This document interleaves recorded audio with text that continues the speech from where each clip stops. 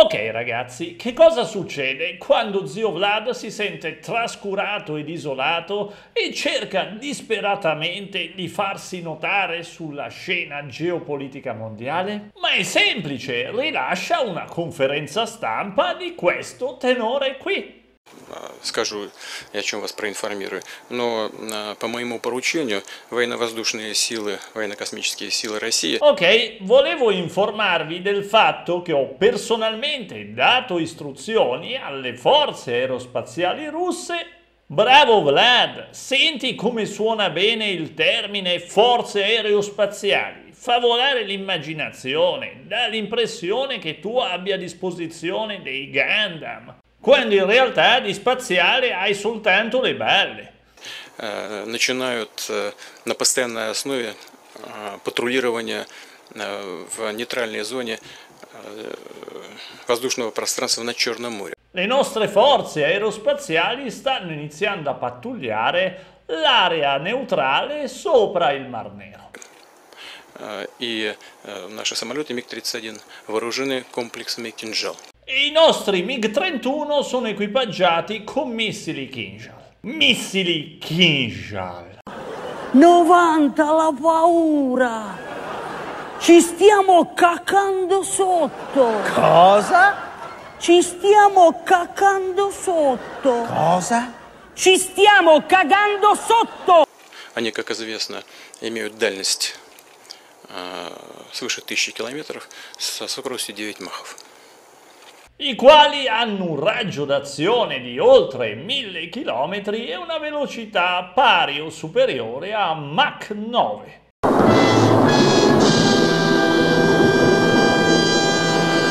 E quando hai degli aeroplani con dei missilazzi così, che cosa potrà mai andare storto?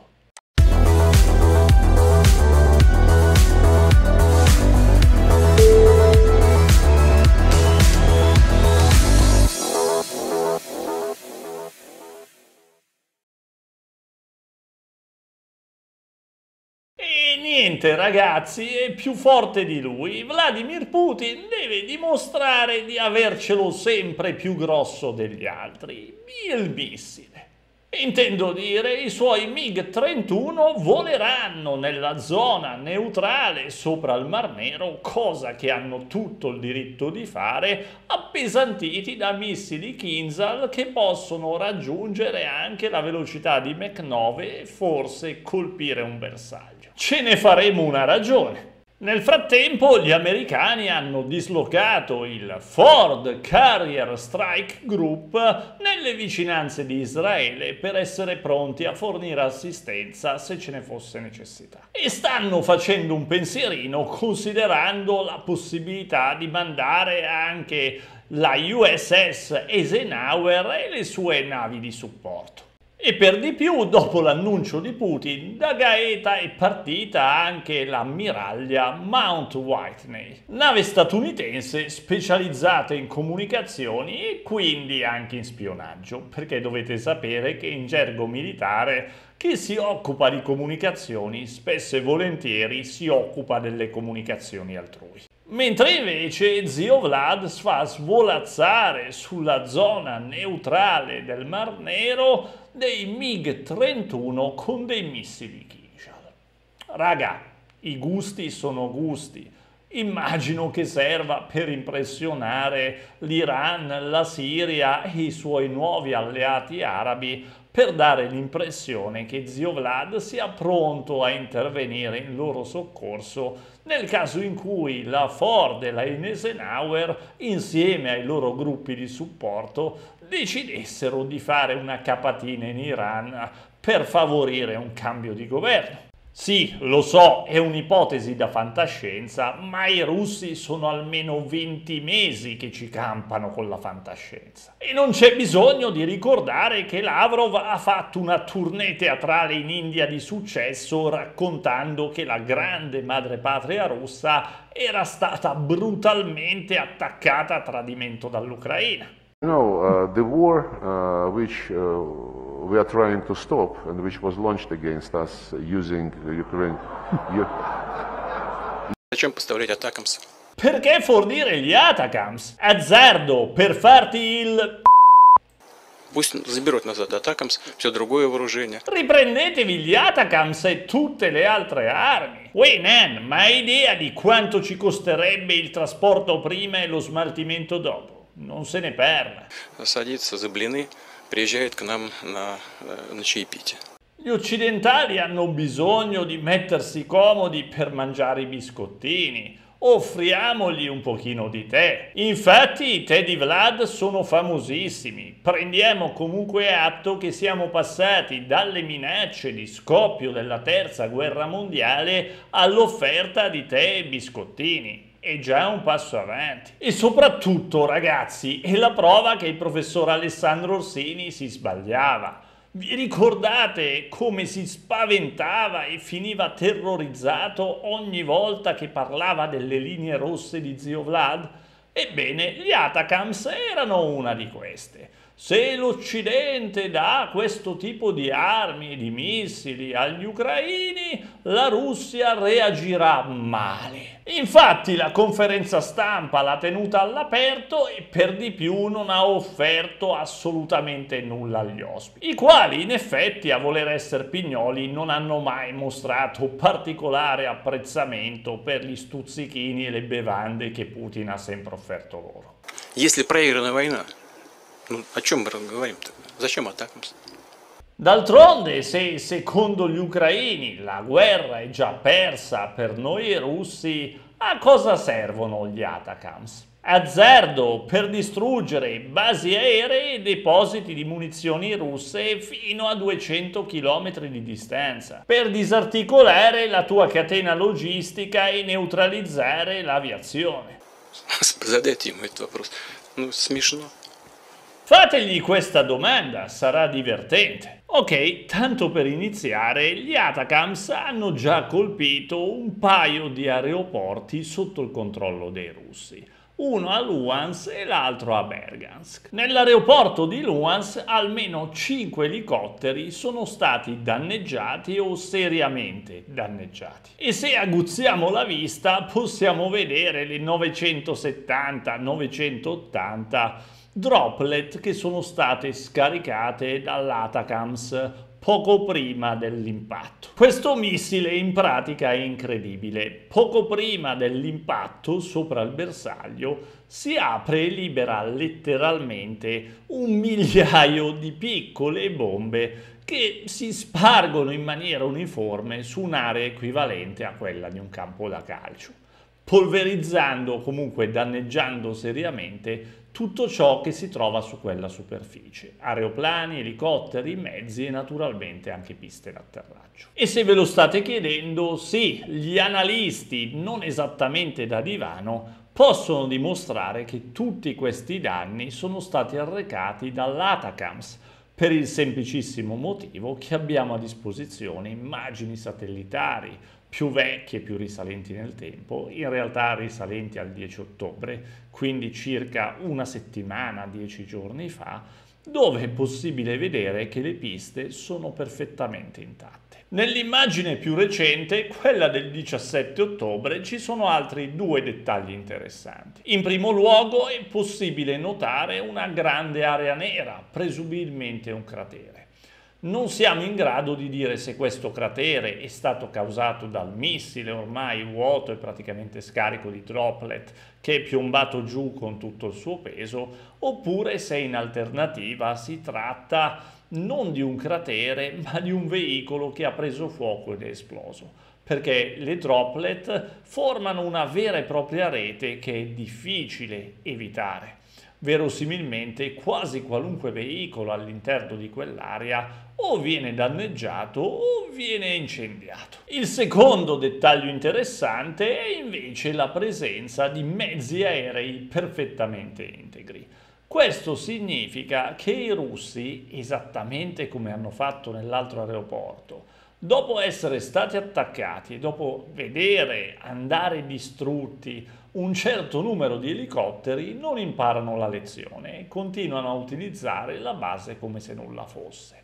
Certo, esiste anche la possibilità residuale che quegli aerei non possano più decollare perché le piste sono state danneggiate, ma a livello teorico ripararle dovrebbe essere una priorità proprio per permettere l'evacuazione degli altri aerei. Insomma, i russi allo Stato non sembrano essere molto organizzati per contrastare questa minaccia. Inoltre va da sé che l'antiaerea russa o non è entrata in azione o non è stata in grado di intercettare il missile.